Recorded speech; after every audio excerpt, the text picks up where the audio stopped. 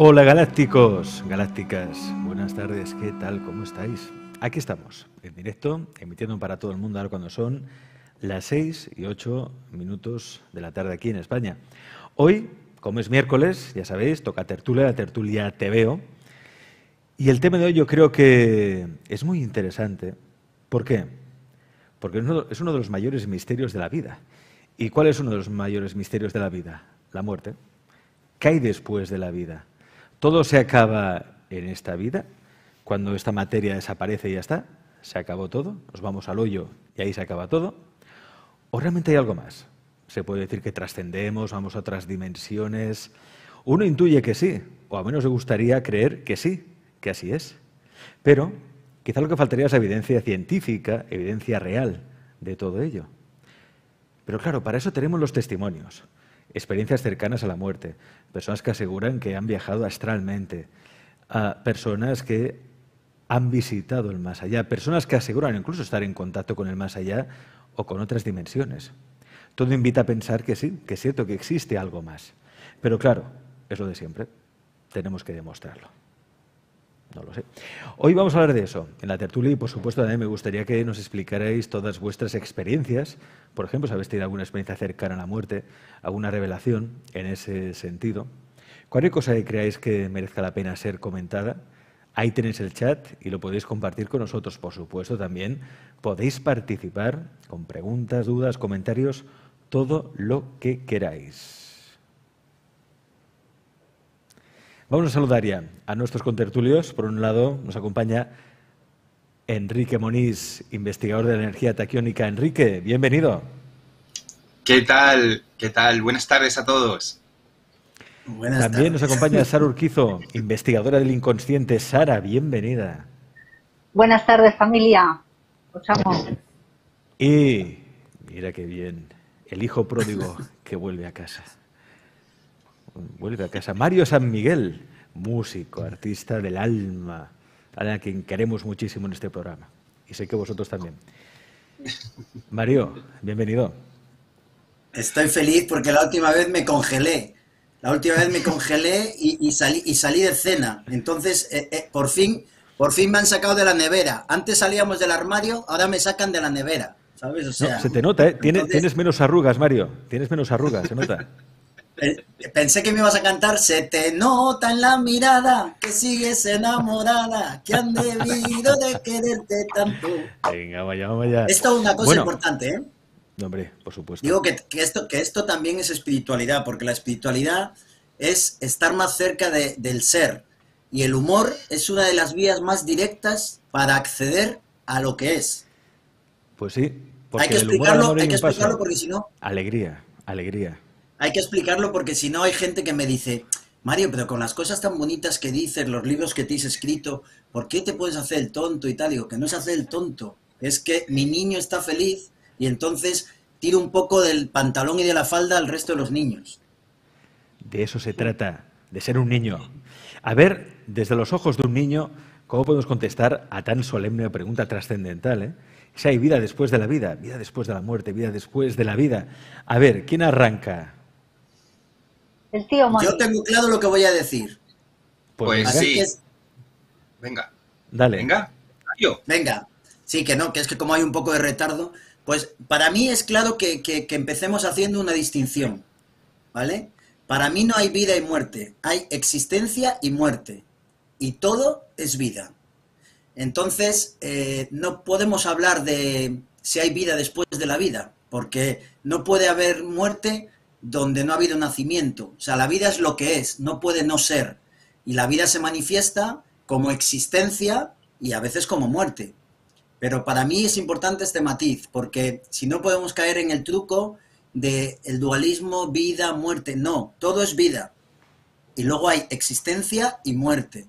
Pero eh, vida con mayúscula está la evidencia científica de Albert Einstein cuando dijo que la energía ni se crea ni se destruye simplemente se transforma. Entonces, lo que soy no puede dejar de ser.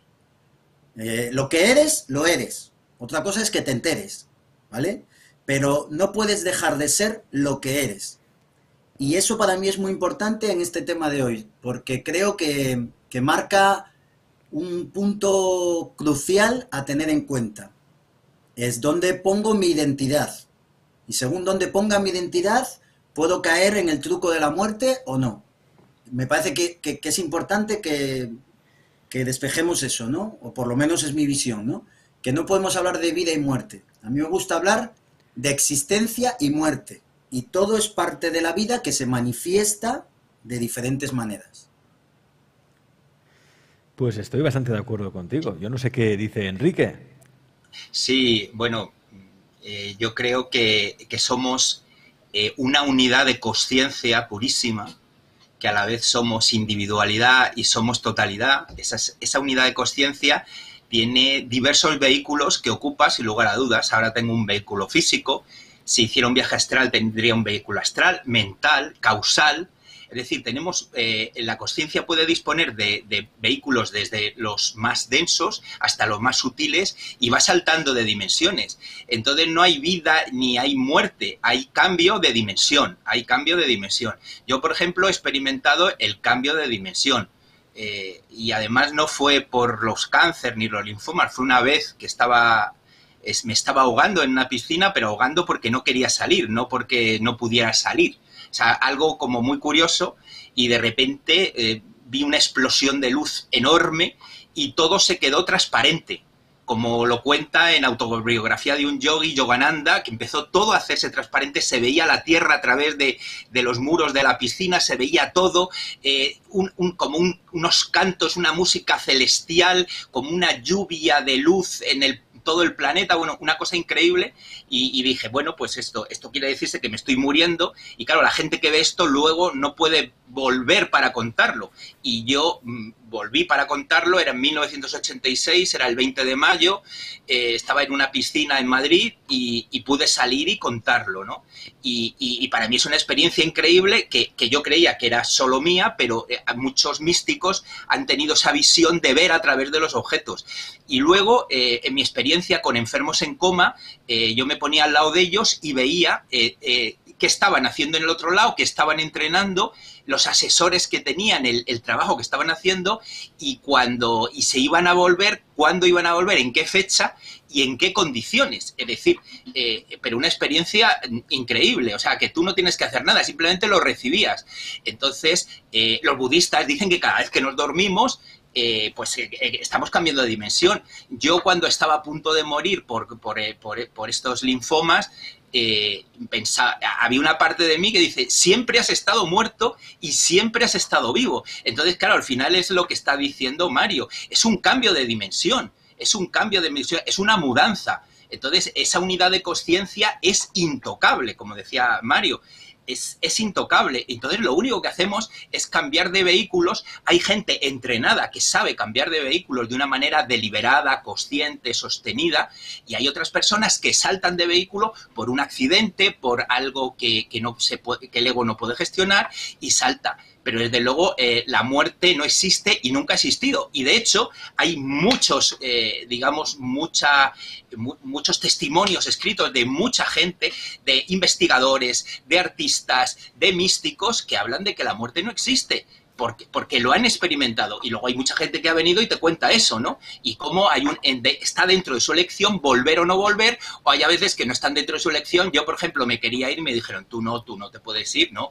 Tú, has firmado un contrato y tienes que estar ahí. Y entonces, bueno, pues hay un momento que algunos el libre albedrío te lo quitan porque tú el contrato que has firmado al venir a, bueno, pues a ayudar, a inspirar, a, alegrar, a nutrir a, los que te rodean. Y he dicho. Gracias, Enrique, por compartir también esa experiencia. Yo también compartir experiencias y me gustaría que vosotros también, desde el chat del programa, compartierais también esas experiencias que demuestran, está claro, que hay algo más allá.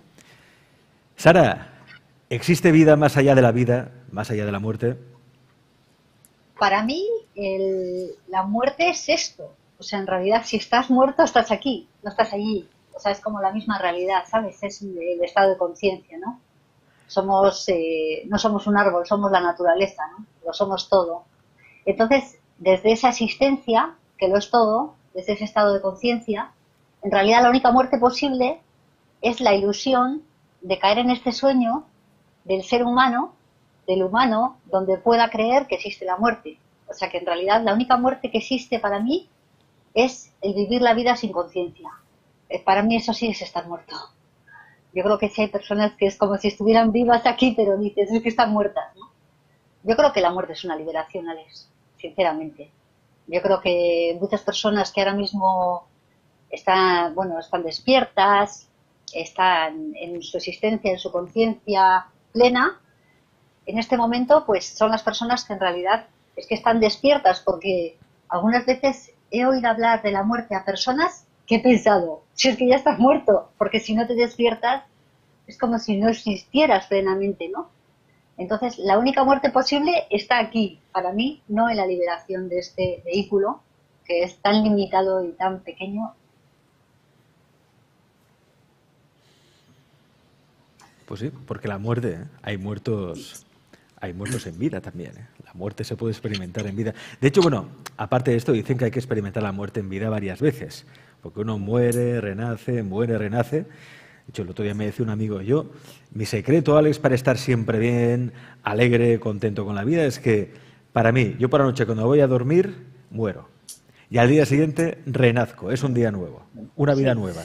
Día nuevo, vida nueva. Es así, es justo lo que dice tu amigo. Es así. Cada vez que dormimos, morimos. Lo que pasa es que ese cambio de dimensión que llamamos muerte es más duradero que una nochecita. Sí. Aparte, hay, yo, yo tengo en una canción que digo que eh, dormir es morir un poquito y morir es dormir para siempre. Claro. ¿Sabes? Eh, por eso a los niños, por eso a los niños nos cuesta tanto irnos a la cama. Porque el niño no quiere dejar de, de perder el, el, control, vamos a decir, ¿no? Y hay una cosa que es muy interesante, que el, el mayor miedo que tenemos los humanos como humanos, ¿vale? En esta encarnación, es el miedo a la muerte. Que el miedo a la muerte, decía Freud, que eh, eh, encubre todos los demás miedos. En el fondo de cualquier miedo, detrás del fondo de cualquier miedo, es el miedo a la muerte. Que por cierto, hace poco, ha sido Semana Santa, que hablasteis la semana pasada de Jesús, eh, la energía crística, y la muerte de Jesús, la muerte de Jesús como, como personaje histórico, como ego, como cuerpo, es lo único que posibilita el nacimiento del Cristo. Es decir, eh, tiene que morir esta parte física para llegar la trascendente, que es el camino contrario que hizo Jesús.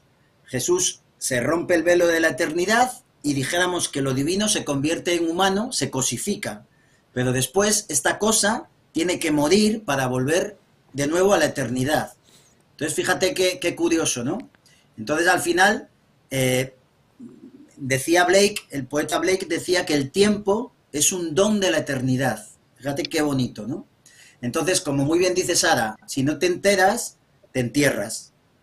Pero si te enteras de lo que va esta historia, puedes sacar mucho partido a este pasito por la, por la vida.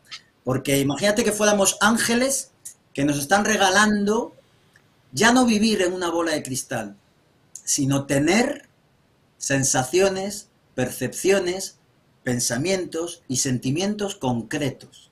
Porque es muy fácil hablar del amor, pero tú cómo amas. ¿Cómo cuidas a los que están al lado tuyo? ¿Cómo tratas a tu pareja, a tu expareja? ¿Cómo te llevas con tus hermanos, con tus hijos? A mí me hace gracia cuando, cuando la gente me dice el amor, tal. Bueno, el amor, pero tú, a ver, vamos a ver. ¿El amor qué? A ver, cuéntame. Porque hablar del amor es cualquier cosa menos amar. En el momento en el que aparece el pensamiento, estamos en la mente. En el, en el momento en el que aparece la mente, ya hay una separación y el amor es sobre todo unidad. Entonces, eh, pod podemos ser incluso un regalo de los dioses, o de Dios, o del ser, o de llámalo X, que importa el nombre, ya nos perdemos en los conceptos. Podemos ser incluso un regalo de los dioses para que tengamos experiencias concretas. Fíjate qué bonito, ¿sabes? O sea, qué bonito. Como las tuvo, por ejemplo, Jesús, cuando supo lo que era que se te muriese un amigo y lloró por Lázaro o cuando supo lo que era la rabia, ¿no? Cuando, cuando, por ejemplo, entra en el templo y les echa a latigazos. Muy importante, porque si no es muy fácil hablar de la rabia, la peña que ya está muy iluminada, pues te hablan de la rabia como si, bueno, ya, ya, pero a ver qué te pasa a ti cuando te pongan, que la vida te va a poner, en una situación en la que ya no es hablar de lo que sé, sino es vivir sin hablar. Si no te enteras, te entierran. Oye, me encanta esa frase. Fíjate que me están enviando ahora eh, fotos, seguramente mostraremos alguna, pero me envían fotografías de, de orbes, fotografías donde parece que se ven caras de lo que sería un espíritu. Es decir, tenemos una audiencia que realmente experimenta ¿eh? con lo que se puede dominar paranormal, que no es otra cosa que explicar pues fenómenos que se escapan a la razón o a la lógica. ¿no? Me podéis seguir enviando fotografías, ¿eh? luego enseñaremos algunas de las que me están enviando que son ciertamente interesantes. Por cierto, también eh, he abierto una encuesta en el Facebook, en el Facebook Live, donde estoy preguntando si creéis que existe vida más allá de la muerte. Como no podía esperar de otra manera, ya veo que el 90% decís que sí y hay un 10% que dice que no, que no creen que haya vida más allá de la muerte. Y es curioso porque, mira, el otro día, a mí me gusta seguir otros canales de YouTube en los que no se habla de estos temas, porque así, no sé, considero que me refresco y oiga gente que habla de otros temas, ¿no? Y sigo youtubers, sobre todo youtubers estos jóvenes, ¿no? Pues youtubers como, youtubers como Ibai Llanos, Auronplay, bueno, estos que son muy conocidos en el YouTube. Y el otro día es curioso porque eh, hablaban de, de, si, de si puede haber vida más allá de la muerte. Es curioso, ¿no? Un tema así trascendental en uno de estos YouTubes. Y es curioso porque todos estaban de acuerdo en pensar que no, que no hay vida más allá de la muerte, que todo se acaba con esta vida, que una vez cierras los ojos por última vez, se acaba, no hay nada más.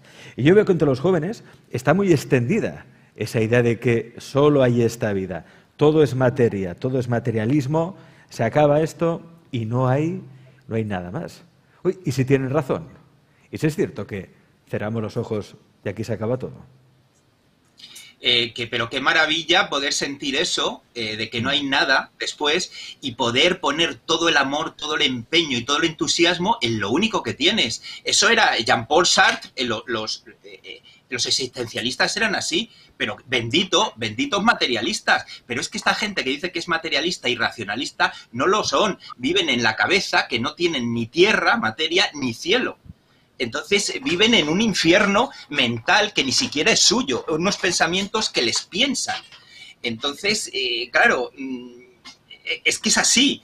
Eh, si fueras materialista, cuidarías la materia. Si nosotros fuéramos materialistas, cuidaríamos este planeta, toda la materia de este planeta, pero no somos materialistas. Mm. Y luego el, tampoco somos celestes, somos, somos eh, digamos, gente eh, eh, que tiene una vida pensada, no una vida vivida. Y eso, es, y, eso, y ese es el problema. Dices, bueno, vale, la juventud no cree que haya otra vida. Pues cultiva esta vida, acaríciala, eh, míralo que, que, cada momento es único, vuélcate en ello, crea una obra de arte en cada cosa que hagas. Pero es que la gente tampoco hace eso. por eso te digo que a veces, a ver, ¿por qué hablamos de estos temas? Para vivir mejor, ¿no? Eh, hablando de estos temas también pues para tranquilizar un poco, porque produce mucha ansiedad a veces eso de pensar de que la vida se acaba, que nos quedan pocos años de vida, luego se acaba de todo ya. Y eso nos, produce, nos produce muchísima, muchísima ansiedad, ¿no? Pero aparte de esto, yo creo que es bueno hablar de estos temas porque nos hacen conscientes de que lo que es esta existencia, la experiencia Alex García o la experiencia Enrique Moniz, Mario Sara, se va a acabar. O sea, esta experiencia se va a acabar y luego accederemos a otra cosa, ¿no? No sabemos qué es, no sabemos qué hay, pero accederemos a otra cosa. Entonces, eso nos invita, obviamente, a disfrutar de la vida al máximo. Es como si de repente nos eh, hicieran un comunicado mundial y dijeran, humanidad, en cinco días va a caer un meteorito en medio del Océano Pacífico y nos vamos a ir todos a freír espárragos. Se va a acabar, se va a extinguir la humanidad. ¿no? Claro, imaginad que nos dan esos cinco días. ¿Qué haríais en esos últimos cinco días? Mario, ¿tú qué harías en esos últimos cinco días de existencia? Pues exactamente lo mismo que estoy haciendo ahora. Exactamente, porque yo estoy feliz viviendo, o sea, es que lo tengo tan claro, ¿sabes? O sea, te quiero decir, eh, para empezar, no es que esta existencia se vaya a terminar, es que se está terminando cada segundo. Es que yo, es la primera vez que vengo a esta tertulia, porque las otras veces que estuve era otro, que aparentemente era yo, pero no soy yo porque todo lo que vamos viviendo nos va rehaciendo. Y así como las células de nuestro cuerpo se regeneran cada, cada nada, ¿sabes?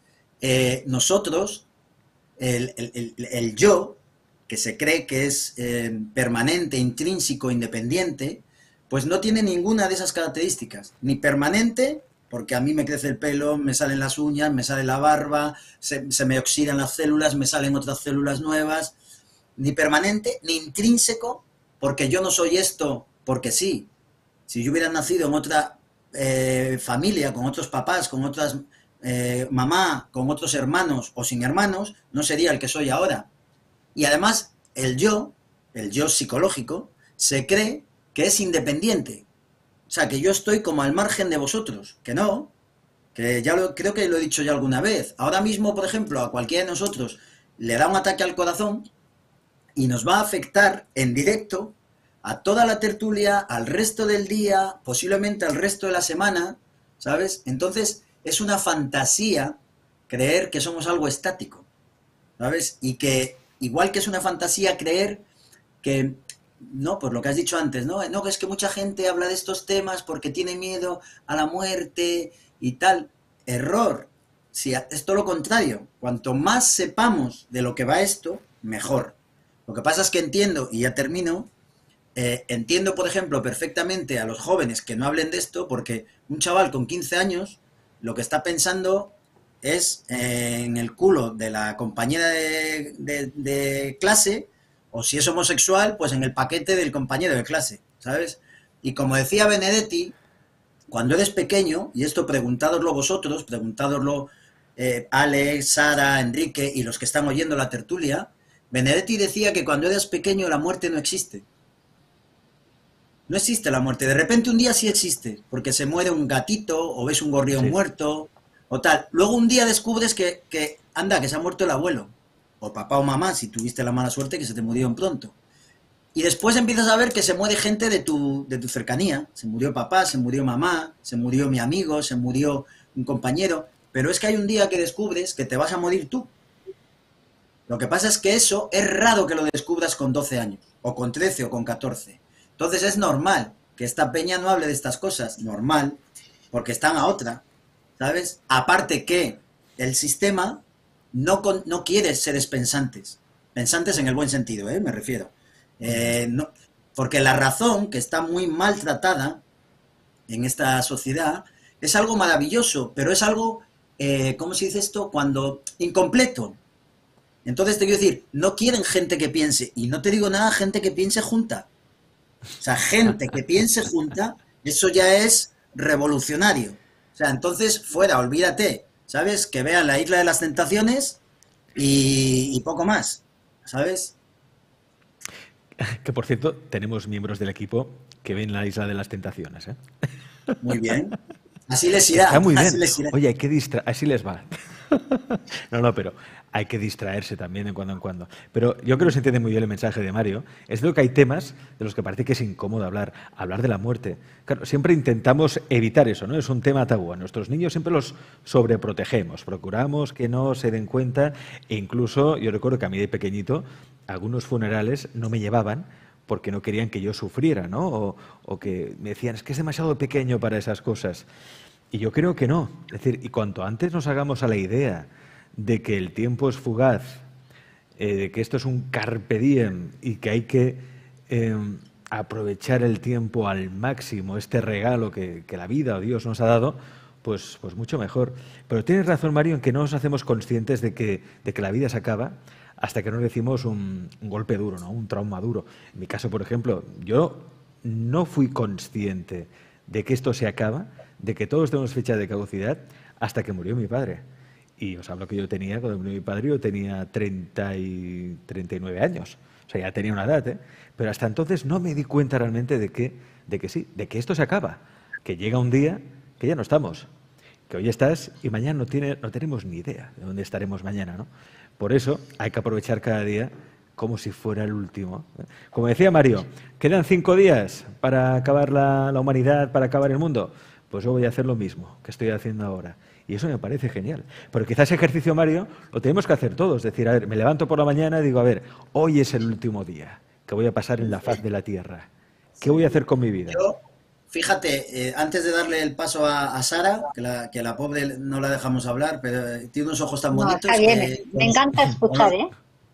Me encanta pues escuchar, ¿eh? eso, eso, es un signo de inteligencia, por eso tenemos dos orejas y una boca. Yo no lo he aprendido todavía, pero tenemos que escuchar el doble de lo que hablamos. ¿Sabes? O sea, me encanta escuchar. Pero bueno, antes de, dar la, antes de dar la, la, la palabra, porque lo has dicho, y yo, por ejemplo, cuando a veces he dado charlas en institutos y así, a los niños cuando les dices lo de aprovecha el momento, su traducción es, o sea, lo de tempus fugit carpe diem, su traducción es, pues esta noche salgo, me pongo hasta el culo, pillo con todas las que puedo, la voy a liar, la voy a liar porque esto se me acaba.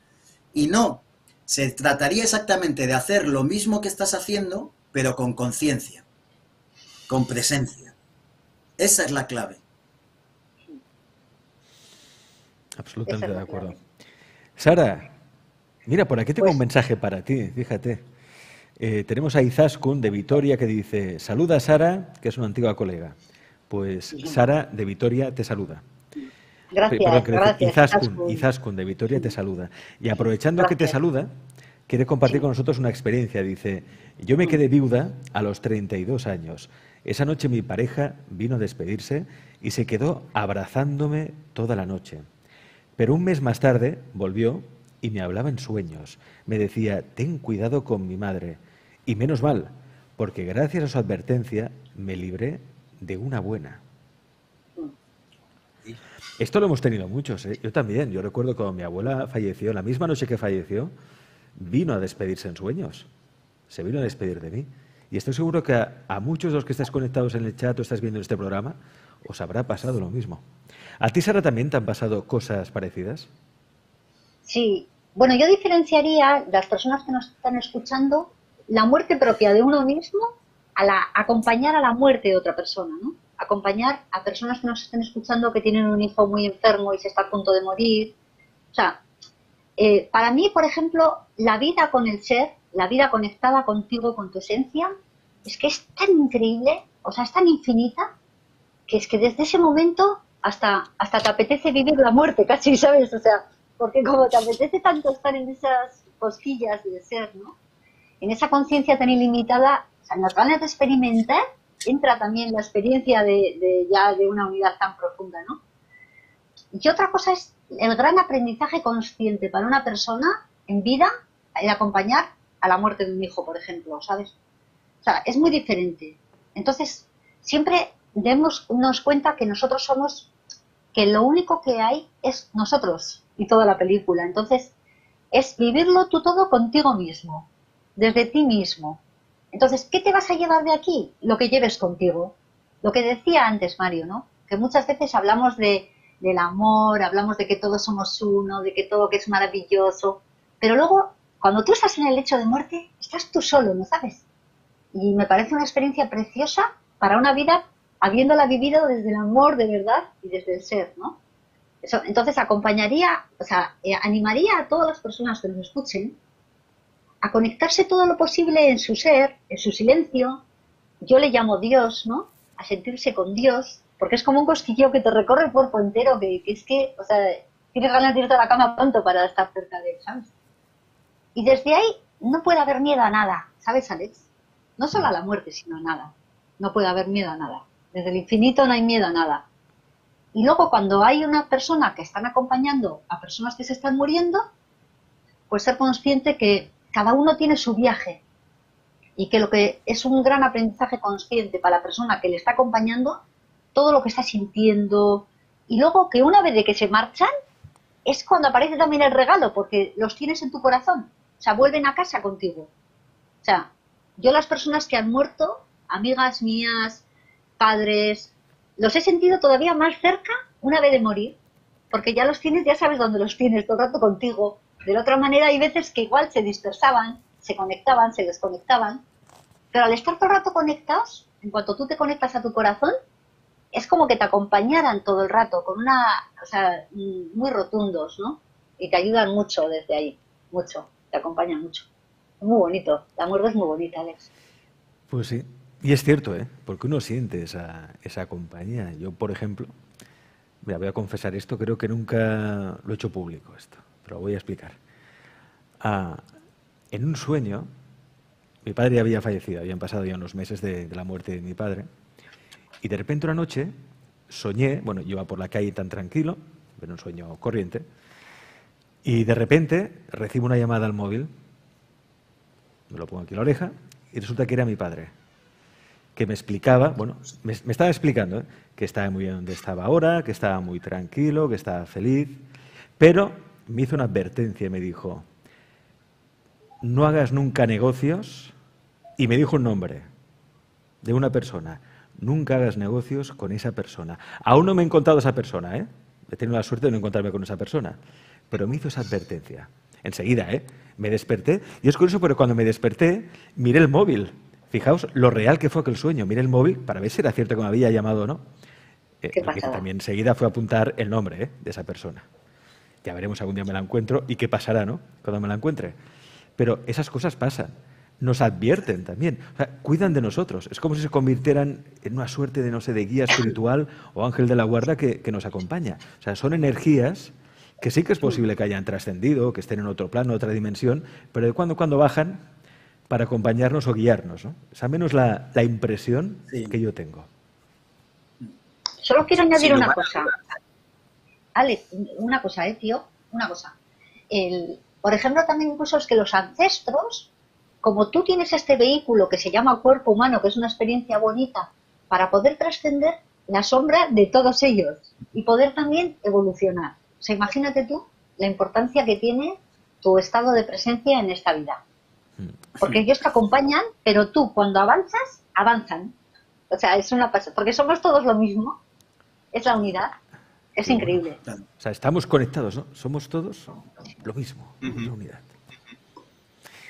Enrique, ¿tú también has tenido advertencias? ¿Te han avisado desde el más allá? Y, cada vez que hablas de tu padre, yo recuerdo el mío, porque mi padre sigue conmigo, debo estar muy torpe, muy chapucero, porque mi padre no me deja, sigue siendo mi maestro indiscutible, un maestro además que me hace tomar tierra cada cuarto de hora, y, lo siento. Y hay a veces, por ejemplo, mi padre trabajaba en televisión española como yo, y, y, cuando murió mi padre, años después, me decía la gente, es como si estuviera tu padre contigo. Dices, que das miedo, das miedo, porque es que dices las mismas cosas, con las mismas tal, cosas que no me había comentado mi padre y palabras que yo no tenía en mi léxico. Y la gente lo notaba, lo notaban más los demás que yo mismo. Y, luego ha sido siempre una fuente de inspiración y una, y una canalización del sentido común. Mi padre aportó me aportó el sentido común. Todo lo extrasensible parece que lo tenía yo y esa, y esa cosa que le llamamos más que evidencia, evidencia, era lo que a mí me faltaba y mi padre estaba continuamente, digamos, marcando esa zona del sentido común, de pisar en la tierra, de, no dar las cosas por hecho, de agradecerlo todo. Bueno, esa serie de cosas y, te puedo decir, como, como, como dice muy bien Sara, es decir, en el momento que se mueren es cuando ya no te abandonan nunca más, porque viven en tu corazón y además están tan cerca y de una manera tan íntima que, están como velando por, por tu gestión existencial. Así es. Eh, por cierto, Víctor, ah, mira a ver si puedes capturar la pantalla que te estoy enviando desde el ordenador, porque me gustaría mostrar algunas fotografías que, me están enviando. Pero bueno, intenta ver si puedes captar. Te estoy enviando la pantalla desde el ordenador, a ver si te sale, y entonces podemos mostrar las fotos directamente desde mi ordenador. Inténtalo. Sí, Mario, perdón. Esa idea, esa idea que ha dicho Sara es preciosa esa idea, si la pudiera, si pudieseis echar atrás el vídeo cuando sea y, rescatar esa idea, precisamente de que cuando se mueren más vivos están, ¿sabes? Y todos los que hemos tenido experiencias vividas, porque una cosa es que se te muera un padre, pero que se te puede morir y ni te enteras. Pero cuando has vivido con él y has vivido la muerte y has vivido estar ahí, eh, te das cuenta que está más contigo cuando no está que cuando estaba. Es curioso, es, es, un efecto, por eso hay, una, hay una, una, cosa que te dicen que el recuerdo es el único paraíso del que nunca podrás ser expulsado, ¿sabes? O sea, si la otra persona no, lo hace, ¿no? Y si nos ponemos en un plano científico, vamos a decir, más, más eh, tres dimensiones, más racional, pues podemos sentir, ¿no? Pues claro, la mente, la mente cuando está en contacto con una serie de cosas, las tiene muy presentes, ¿no? En el momento en que esas cosas empiezan a, dispersarse, es muy probable que tu mente también, de alguna manera, se olvide de esas cosas. Eh, pero yo estoy hablando de algo más, por ejemplo, que es en, sintonía con lo que decía el tío Moniz y Sara. Eh, por un lado, y hablo desde la experiencia personal, cuando mi padre muere, que yo es la primera vez que vi a una persona muerta, yo no había visto nunca un muerto en mi vida, y mi padre se murió a 3 centímetros de mí y fue una maravilla. O sea, eh, cuando mi padre muere, los primeros 15 días, porque lo apunté, durante 12 días soñé con él. Durante 12, o sea, de 15, 12 días aparecía en el sueño. Entonces tú puedes decir, bueno, eso es porque justo acababa de pasar y tal. Vale, vamos a pensar que es por eso. Pero ahora voy más allá. Eh, ya no es un tema de pensar, es un tema de sentir, de sentir, de cómo eh, hay algo que está, que te, que te acoge y que te funde y te fundes con ello y ello contigo, eh, que es esa energía. Porque yo, por ejemplo, eso no es que diga esto lo decía mi padre o así lo hacía mi padre, así subía las escaleras mi padre. No, no, es que mi padre está aquí. Primero porque genéticamente yo soy una mezcla de mi padre, mi madre, más Dios o el misterio. Pero es que además, energéticamente, yo siento la energía de mi padre yo sigo viviendo en la misma casa. O sea, yo ahora mismo estoy en una habitación pegada a la habitación donde murió mi padre. Y hay gente que me dice, ¿no te da pena y tal? Y digo, para nada. O sea, para nada, porque mi padre estaba conmigo, está conmigo y estará conmigo. Mientras haya un espacio en el recuerdo para una persona en el corazón, esa persona no desaparece. Por eso nosotros no vamos a desaparecer. Vamos a dejar de existir. ¿Por qué? Porque nosotros somos hijos de Dios. Entonces, ¿cómo un padre se va a olvidar de sus hijos? Es que no tiene, no tiene, vamos, ni pies, ni cabeza. A mí me pasa también algo parecido, Mario. Yo, por ejemplo, tengo, mi padre me dejó un despachito en Tarragona, donde mi padre y yo teníamos pues, muchas conversaciones, hablábamos de todo, de lo divino, de lo humano, de todo, de todo. Y, los primeros días, cuando él falleció, claro, me costaba estar ahí, porque claro, empiezas a recordar, te duele, ¿no? El hecho de que ya no esté ahí, de que no puedas hablar con él. Pero a fuerza de estar, porque yo no quería rehuir el dolor, o sea, yo quería estar ahí, quería pasar, en un proceso de duelo, pero no quería anestesiarme, quería sentirlo, ¿no? Y, y llegó un momento en que, como si yo me pudiera comunicar con él al estar ahí. Y yo, por ejemplo, los viernes, los viernes por la mañana, yo me voy al despacho ese que tengo ahí en Tarragona, y me siento en la silla y en ese momento es como si estableciera un diálogo con mi padre, que yo sé que él físicamente ahí no está, pero lo siento, lo siento como tal, e incluso le pregunto cosas y le pido consejo. Y es curioso porque recibo respuestas, no sé de qué manera, pero recibo respuestas y, ah, muy bien, ¿no? Es como tengo esa opción. No sé si es que yo me lo he creado, no lo sé, da igual, pero la cuestión es que a mí eso me va muy bien. Claro, y fíjate que has dicho, yo sé que físicamente no está ahí, claro, pero es que no solo somos físicos.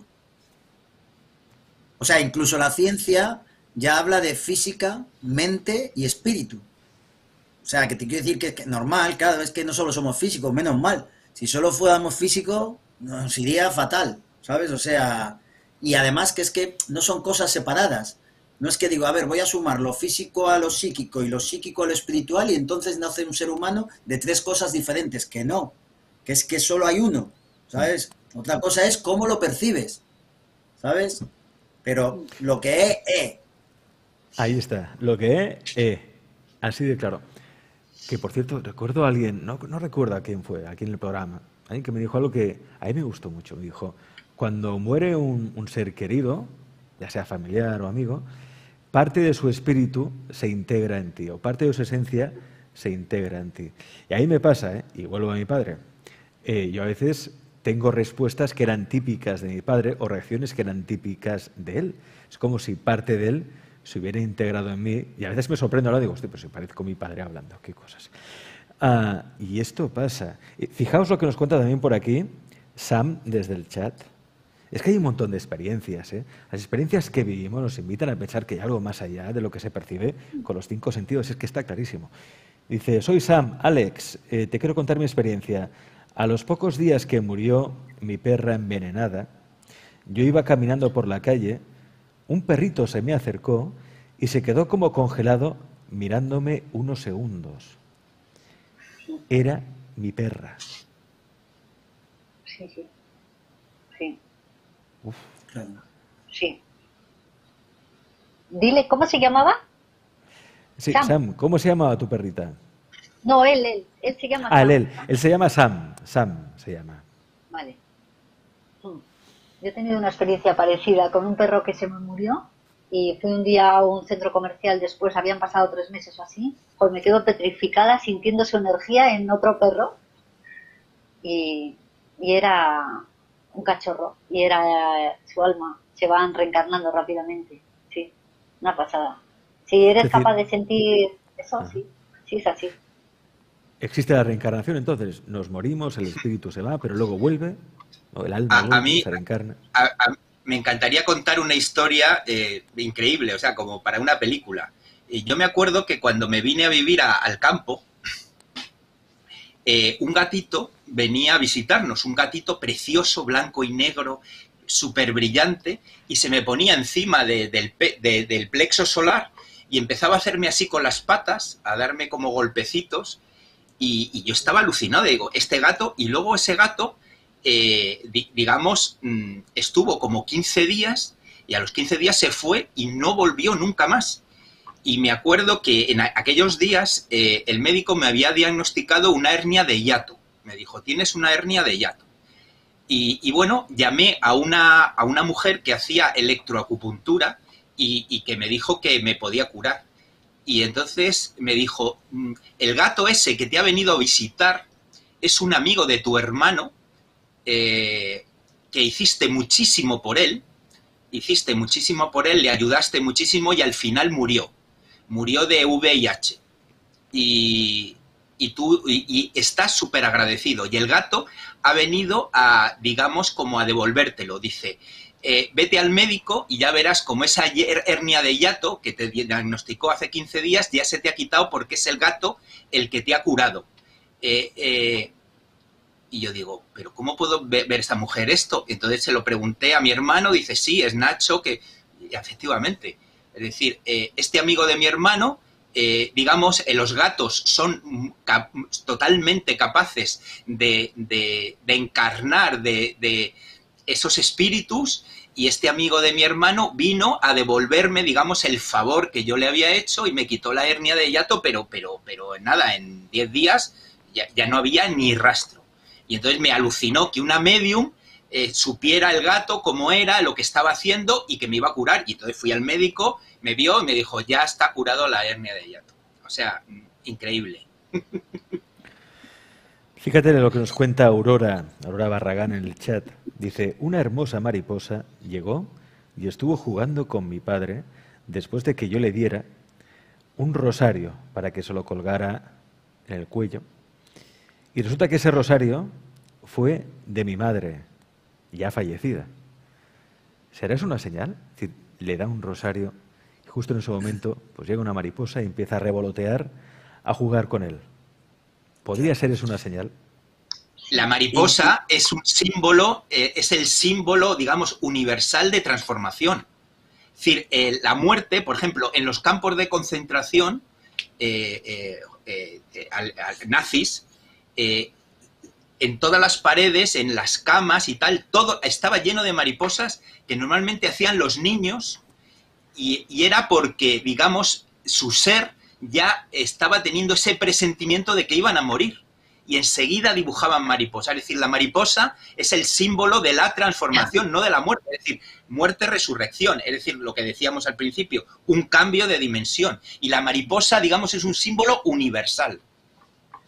Y, una cosa muy bonita que, para aportar a la, a la historia es que, bueno, aparte de que no, se, no es casual seguro lo de que los gatos tienen siete vidas, siete vidas, siete almas, siete, siete capacidades de transformación, eh, una cosa muy bonita para, valorar este punto de lo que es la vida en tres dimensiones es que la mariposa, antes de ser mariposa, tiene que hacer unos grandísimos esfuerzos para salir del capullo de seda para que con esa fuerza, que, no sale porque el agujerito es muy pequeño y tira y tira, pero no sale, con esa fuerza está activando todos los, eh, todo lo que va a necesitar luego para extender las alas, para, para su propio organismo. Entonces, si nosotros humanos cogiésemos el capullo de seda, le cortamos, le cortamos el, la parte de arriba para hacerlo más grande y soltásemos la mariposa, eh, pensando que la estamos haciendo un favor, en realidad la estamos matando, porque no ha tenido los,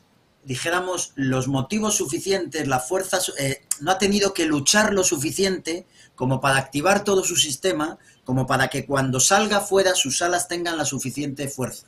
Entonces es muy bonito ese, ese, esa imagen, que es real, ¿sabes? Aparte de que hay cuentos sobre eso hecho, para que a veces eh, sentimos que el sufrimiento eh, es un sinsentido y no sabemos, no sabemos ni el por qué ni el para qué, ¿vale? Y por eso a veces es bueno cambiar y en vez de pensar que algo me está pasando a mí, pensar que algo me está pasando para mí.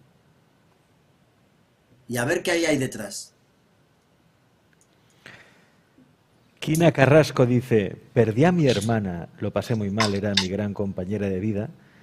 Resulta que una noche, sentada en la cama, con mucho desespero, le hablé y sentí un movimiento en la cama. Miré y vi marcada una mano en la manta. Esto de la mano se repite en muchos casos. ¿eh? Yo recuerdo que entrevisté hace unos años a, Jenny Durham, que es una, escritora, famosa editora en Estados Unidos, que hizo un libro precisamente sobre sus experiencias con el espíritu de su marido, que falleció, pero que al poco tiempo intentó comunicarse con ella y cómo su mano quedó marcada en el espejo del lavabo, después de ducharse, ¿no? con el vapor y todo, de repente se marcó una mano en el espejo y ella, aquella mano la reconoció enseguida, era la mano de su marido. Parece que es una manera también, ¿no? Una señal, que se marque la mano. En este caso puede ser en la manta, puede ser eh, en el espejo del lavabo, en varios sitios. Gracias, Gina, por compartir tu experiencia. Eugenia dice, mi madre cuando era niña vio morir a su abuelo y cuenta que por la pared de la cama donde estaba salía una llama azul. Ah, las llamas, las incandescencias. Eso también es, típico, ¿no? Es una señal, una señal del más allá. Que eso está muy bien. Pero claro, e, ¿estos casos para qué sirven? Estas experiencias que estás compartiendo son vitales, son muy valiosas, porque es una manera de naturalizar algo. Es no es para dar miedo, no es para hacer, aquí historias de terror, ¿no? Historias para no dormir, como hacía Chicho Bañez Serrador hace unos cuantos años, ¿no? Es no, esto es para que entendáis que el fenómeno es corriente, es un fenómeno ordinario, es un fenómeno que se da, que se da a menudo y por eso no hay que tener miedo a explicarlo y empezar ya a mirar de cara al más allá, ¿no? aquello que, está más allá de la vida, e intentar también investigar qué hay ahí, pero tomárselo también como un juego, de decir, a ver, ¿qué hay más allá? ¿Hay trascendencia? ¿A dónde vamos? ¿no? ¿Luego nos reencarnamos, sí o no? Eso es lo tan... Y la, propia palabra... Digo que la propia palabra lo dice, ¿no? Fenómenos. Pero por detrás del fenómeno está el noúmeno. El noúmeno es aquello que no cambia. Y tú lo has dicho sin, darte cuenta, has sido budista. Has dicho lo, que está más allá. El, sutra del corazón del Buda, que es como una, su enseñanza casi final, dice, el mantra dice, más allá, más allá, mucho más allá, completamente al margen, despierto, ojalá ahí es donde está el, turrón, como se dice, ¿sabes? Ahí es donde está el turrón. Y por eso eh, está bien la experiencia, pero detrás de la experiencia siempre hay una esencia. Detrás de la experiencia siempre hay una esencia, es cierto eso. Mira, vamos a compartir más experiencias, me encanta. Habéis enviado varias fotografías. Por ejemplo, Anabel me ha enviado una fotografía que se hizo con, con sus primos. Y en esa fotografía parece que se percibe, se percibe como una especie de, caras, que sería la cara de su padre y la cara de su tío. Vamos a mostrar esa fotografía en pantalla. Un momento, ahora Víctor, cuando yo te diga pincha, ya puedes pinchar. Mira, esta es la fotografía que nos ha enviado Anabel, que está aquí sonriendo, como podéis ver. Y aquí, no sé si se puede apreciar, ¿eh? aquí, esto sería una cara. Esto que veis aquí sería una cara. Y al parecer, aquí también se dibujaría otra cara. Esto pasa, ¿eh? ¿eh? por ejemplo, también hay muchas fotografías donde se habla de los orbes, ¿no? Estas eh, esferas luminosas, que al parecer serían espíritus o entidades que, por lo que sea, se quieren poner en contacto con nosotros, ¿no? Claro, según dice Anabel, esto que es aquí en la fotografía, pues sería, eh, sería en efecto pues la, cara de, de su padre y aquí lo veis, por ejemplo, ¿no? Sería esta cara, sería la que se vería en esa fotografía. Obviamente no se ve con mucha claridad porque esto es así. O imaginaos que de repente puede salir la cara allí tal cual, ¿no? Es decir, no, esto no, no, es tan fácil, es como las psicofonías también, ¿no? Son voces, sí, voces del más allá, porque a veces interactúan con el investigador, pero no tienen por qué ser claras, ni mucho menos. De hecho, cuanto más claras son, pues más probabilidad es que sea un montaje y no sea, y no sea real. Volvamos a ver esa imagen. Aquí la veis, ¿veis? Aquí se vería el rostro. Pues Anabel, muchas gracias por compartir esta, esta fotografía con nosotros. La Iglesia también es que ha hecho gran faena a todo el mundo con esto de la muerte. Yo creo que la Iglesia también, o sea, no meto a todo el mundo en el mismo paquete porque tengo grandes amigos curas también y sacerdotes, pero verdaderamente con eso de que si el purgatorio, que si tenías, yo creo que, vamos, hemos vivido tan, tan, eh, es el sistema, ¿no? Que nos han creado de miedo, de poco conocimiento hacia nada, es un desastre. Y luego también yo siento dentro, también que, yo, yo pienso que el vivo al hoyo y el muerto al, al al hoyo, ¿no? Y el vivo al hoyo, al hoyo. O sea, yo soy de las que también dejo, dejo dormir a los muertos, ¿sabes? Sea, me parece que también está muy bien ir hacia la luz, respetar, somos parte de la unidad del corazón, o sea, siempre desde la luz, ¿sabes? Nunca juego con nada que no sea la luz, Alex. No, mm, aun teniendo experiencias, siempre las transmito, las llevo a la luz. Digo, esto es luz, esto es luz, ¿no? Porque hay veces que también es verdad que se quedan aquí porque realmente no han terminado de hacer lo que han venido a hacer. Pero tú también le puedes decir, venga, Aita, venga, papá, tranquilo, vete a la luz que ya termino yo. Tú acompáñame desde esta luz que tengo en mi corazón. ¿Sabes? O sea, los ancestros están deseando apostar por ti como equipo ganador. Pero también les tienes que dejar descansar. O sea, es como que eh, hay que liberarse. El amor es dar libertad para mí. El amor es dar libertad. Es, libertad, Alex. Estoy absolutamente de acuerdo contigo, Sara. Fíjate qué experiencia quiere compartir con nosotros Guiomar. Dice, estaba en el parque pensando en si mis ángeles me darían alguna señal. Entonces aparece una niña de unos tres años y le dice a su madre, mamá, un ángel. Yo me quedé alucinada. Y la niña vio el ángel que estaba invocando Guiomar en cierta manera, ¿no? Quería una señal de esos ángeles. La niña, que ya sabes que los niños están más despiertos, ¿no? tienen esa percepción, esta sensorial más abierta que nosotros, pues vio a ese ángel. y muchos estarán, estarán pensando, oye, pues ahí me encantaría también tener una de esas experiencias, ¿no?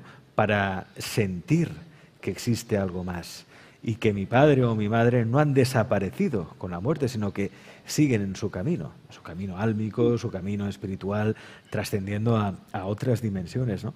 Eh, a esas personas, ¿qué les podríamos decir? ¿Cómo pueden experimentar, sentir que existe algo más, eh, comunicarse? Yo ya sé que, como dice Sara, no hay que molestarlos mucho, ¿no? Es decir, si quieren algo ya vendrán y ya nos lo dirán, ¿no? Pero aún así, ¿cómo se puede experimentar eso? Eh, bueno, sí, pero claro, eh, lo ha dicho, lo ha dicho, lo ha dicho Sara, es decir, eh, y, lo y, lo acabas de decir tú. La única manera de contactar es eh, mm, despertar de nuevo, porque no ha desaparecido, esa mirada inocente, esa capacidad de asombro, esa perplejidad ante la vida.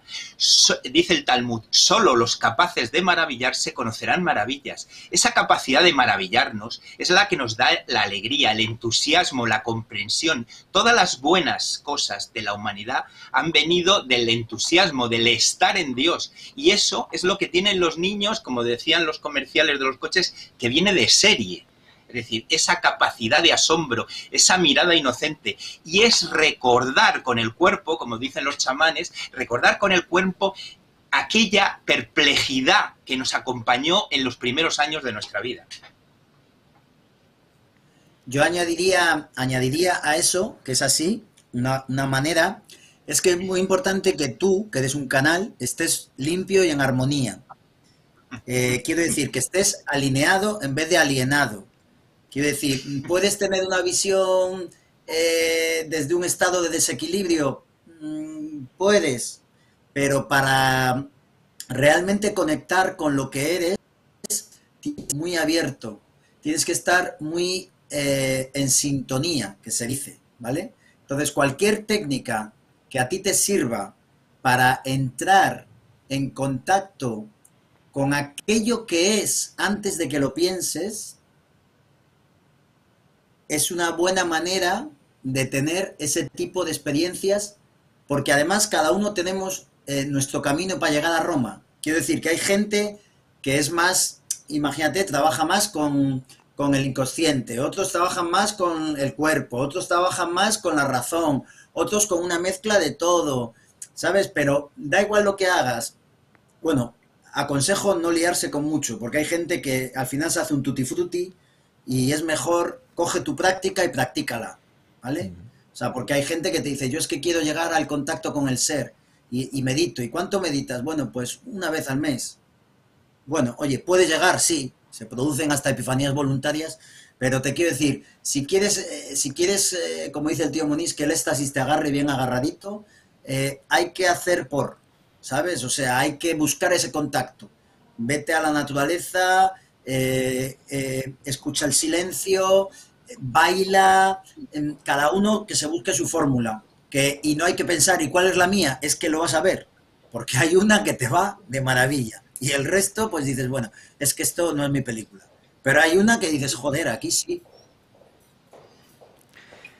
Fíjate lo que nos comenta por aquí en Facebook Ángeles Pintor, que por cierto, la encuesta que hemos hecho en Facebook, la encuesta del Facebook Live, sigue igual, ¿eh? 90% a favor de que sí, de que existe vida más allá de la muerte, hay un 10% que dice que no. Además, con un montón de diferencia, un montón de votos a favor de que sí, que existe vida más allá de la muerte. Ángeles Pintor dice, hacía unos meses que había muerto mi madre, después de una dura y larga enfermedad, estábamos mi hermana y yo tomándonos una copa de vino en una terraza y estábamos recordándola y se nos escapaba el llanto. De repente se acerca un vendedor de cupones y nos pregunta si queremos un cupón. Las dos decimos que no. Y dice, ¿queréis uno del Día de la Madre? Y dijimos, bueno, y, dice, os lo saco de la máquina. Y cuando nos lo da, resulta que el número del cupón era la fecha de nacimiento de su madre. O sea, fijaos cuántas sincronicidades, cuántas casualidades o causalidades, ¿no? Este es un mensaje. la madre, quizá era la manera de decirles, oye, que estoy aquí, estoy con vosotras, ¿no? A través de esa coincidencia, que no lo es, coincidencia imposible. A través de la suerte a través de la suerte. Y además fíjate que hay quien dice que son coincidencias y la gente creyente dice que son dioscidencias. Siempre dan una respuesta, Alex. Si la preguntas, ¿sabes? O sea, yo a mi padre le encantaba el pan, le encantaba. Y cuando murió, por ejemplo, pues un día, a veces juego con él, ¿sabes? A veces juego con esto y digo, venga, una señal, una señal así que me dejes flipando, ¿sabes? Pero siempre desde la alegría, porque de tan bonita que es la vida. Y te da señales. Sí, y voy a correos el otro día y de repente, fíjate, en correos aquí en Sopelana, que no pega para nada, ya me han puesto una, una librería así para comprar, y el primer libro, el gran libro del pan. Yo sé perfectamente que ese es mi padre. O sea, lo sé perfectamente porque le encantaba el pan. Y, mira qué casualidad que tenga que ser un libro de pan, que tenga que estar puesto para ti. Siempre te dan, siempre te dan señales. Y así ha salido la hija, que está como un pan. Mira, eh, un comentario interesante este que nos hace Laura Piñán. Dice, mi caso es a la inversa de la gran mayoría. Yo tengo miedo a la vida y la muerte me resulta esperanzadora en tanto que estoy convencida que es el regreso a casa, ¿Qué le podemos decir a Laura? Claro, es que aquí, claro, aquí no lo hemos comentado, no lo hemos comentado, pero es que en realidad el miedo a la vida, el miedo a la muerte es el miedo a la vida. A mí me llamaron para un congreso sobre la muerte y dije yo, en Occidente lamentamos tanto la muerte, nos da tanto miedo porque vamos a morir sin haber vivido.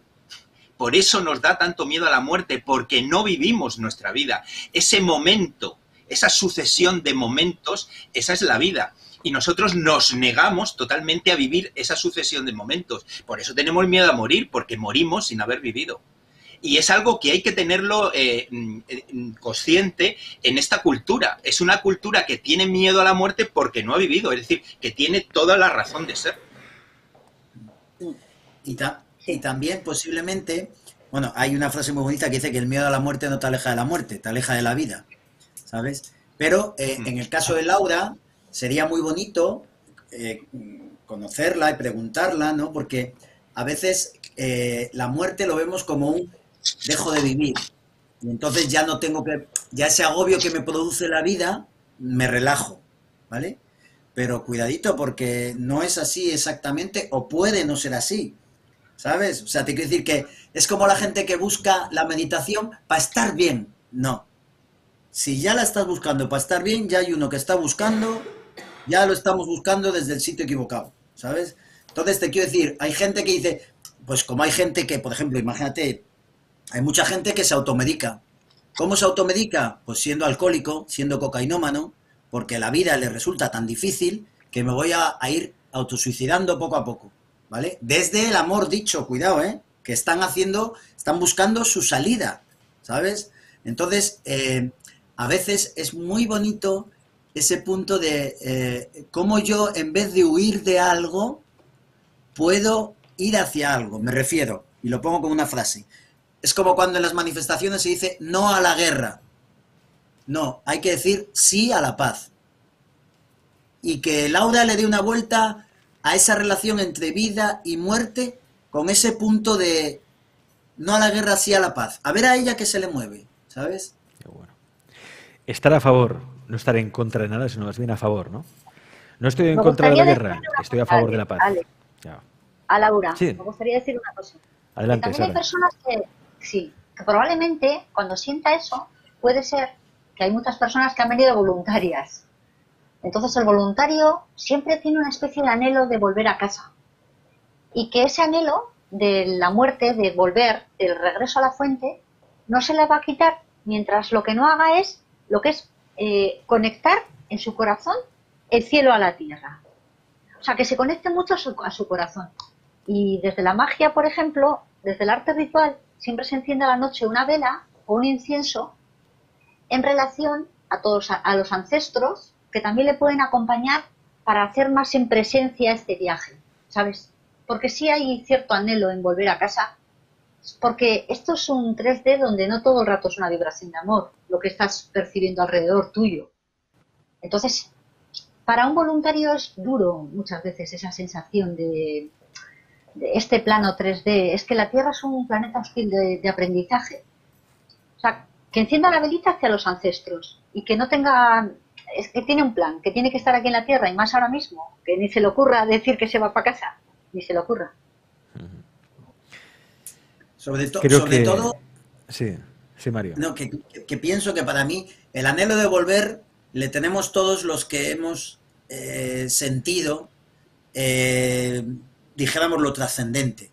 Pero por lo menos en mi caso no tengo ninguna prisa. ¿Sabes? O sea, te quiero decir, ¿por qué? Porque me gusta esta historia. Me gusta comerme un helado, me gusta mm, a veces eh, estar en un lío a ver cómo salgo de esto. Quiero decir, me voy a morir, pero antes voy a haber vivido, ¿sabes? Y, sobre todo, no quisiera irme de aquí, que no digo que sea el caso la ¿eh? ¿eh? Dios me libre. Pero ese anhelo de volver, que no sea para evitar el sufrimiento, porque es parte del ser humano el dolor. Es parte del ser humano saberse vulnerable, es parte del ser humano la debilidad, es parte del ser humano el no tener ni NPI, o sea, no posee información, ¿sabes? Y, uno de los seres más humanos que hubo en el mundo, a la vez mm, estaba conectadísimo con, lo trascendente, que es el Buda. O sea, no hay nadie más desapegado que el Buda. Nadie más desapegado. O sea, esta historia de 3D no le interesaba, pero a la vez nadie tenía más compasión que él. Fijaros qué bonito. O sea, yo puedo estar totalmente desapegado de esto, pero tengo una compasión que me fundo contigo, que estoy junto a tu dolor, junto a tu alegría.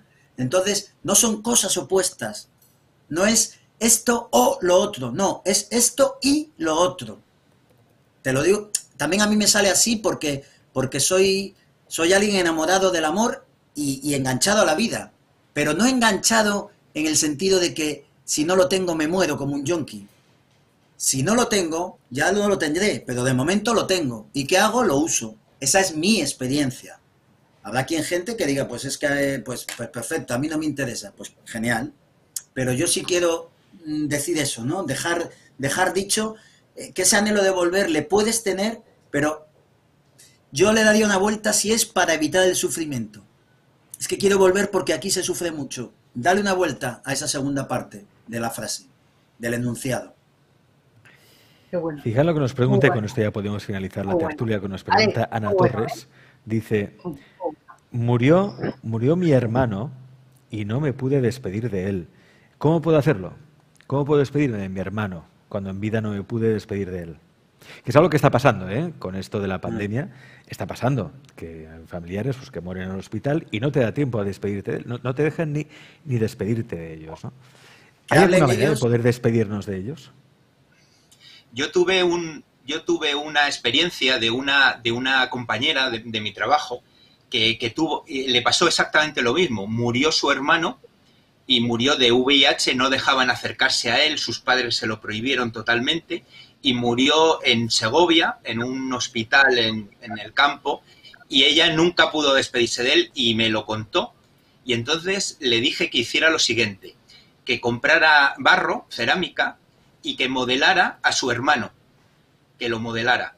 Y que mientras lo modelara, eh, fuera recordando todos esos momentos eh, que había vivido con él. Porque además ella le, ha- le había cuidado a su hermano, porque era el hermano pequeño, y le, hab- le había cuidado como una madre. má- Más que su madre, había estado pendiente del hermano.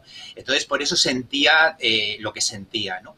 Y entonces ella al final empezó a modelar al hermano, empezó a recordarlo absolutamente todo y luego en un ritual tenía que, tenía que enterrarlo con todos los honores. Con todos los honores es poniendo todo el sentimiento, toda la atención, todos los detalles y tal. Y entonces ella lo hizo y, y- y- y- me, me- me dijo que se quedó completamente en paz y de maravilla.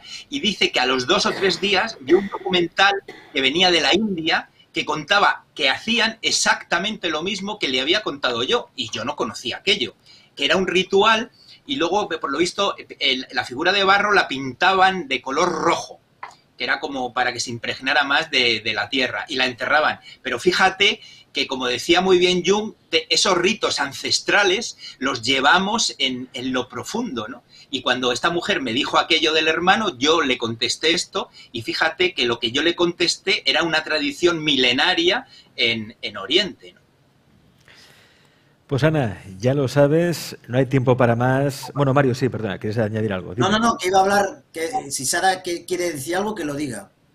Que yo, yo, yo he hablado Una mucho, cosa- que hable Sara. Sí, Una cosa rápida, si quiere decirle también, yo me metería en la cama a la noche y en visualización cerraría los ojos y me imaginaría cómo yo me levanto de la cama y cómo esa persona de la que no me he despedido, si me encuentro con ella. Y le agarro profundamente y me conecto su corazón con mi corazón. Y me quedo ahí un ratito. Y muchas veces esas visualizaciones son súper buenas. Lo mismo como cuando has discutido o le has contado alguien algo a una persona que no se lo querías haber contado o haber dicho. Tú te metes en visualización y somos tan poderosos y el ser es tan poderoso que puede borrar información. Entonces es como si rescataras la información que diste. O todo lo puedes hacer desde visualizarlo. Sara, gracias. Alex. Mario, dime. Una cosita. La, la chica se llamaba Ana. Ana, sí. Ana. Ana, eh, pues me, me gustaría decirle a Ana que lo acaba de hacer ahora mismo. En el momento en el que ha pasado por su corazón ese eh, despedirse de su hermano, hacerlo público y pedir cómo lo hago, ella ya lo ha hecho. Hecho está. Pues ya lo sabes, Ana. Ah, Enrique, Mario, Sara, muchas gracias por participar en ha sido, chicos. como siempre, muy interesante. Gracias. Besazo. Guapos. Adiós, preciosos.